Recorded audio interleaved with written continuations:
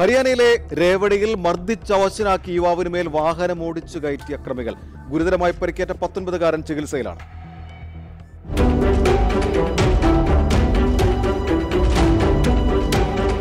ഇന്നലെയായിരുന്നു സംഭവം. ഹരിയാനയിലെ രേവടി സ്വദേശിയായ അൻകിത് കമ്പ്യൂട്ടർ കോച്ചിംഗ് ക്ലാസ്സിലേക്ക് പോകും വഴിയാണ് അജ്ഞാതർ തട്ടിക്കൊണ്ടുപോയത്. അൻകിതിനെ മദ്യം കുടിപ്പിച്ചു. പിന്നീട് വസ്ത്രങ്ങൾ ഉരിഞ്ഞ ശേഷം അക്രമികൾ അൻകിതിനെ തുടർച്ചയായി മർദ്ദിച്ചു. ബോധം നഷ്ടപ്പെട്ട അൻകിതിനെ വഴിയിൽ ഉപേക്ഷിച്ചു.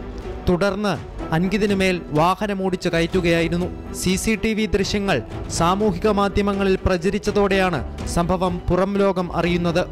മൂന്ന് പേരടങ്ങുന്ന സംഘമാണ് ആക്രമണത്തിന് പിന്നിലെന്നാണ് വിവരം. അക്രമത്തിൽ ഗുരുതരമായി പരിക്കേറ്റ അൻകിത് രേവടിയിലെ ആശുപത്രിയിൽ ചികിത്സയിലാണ്.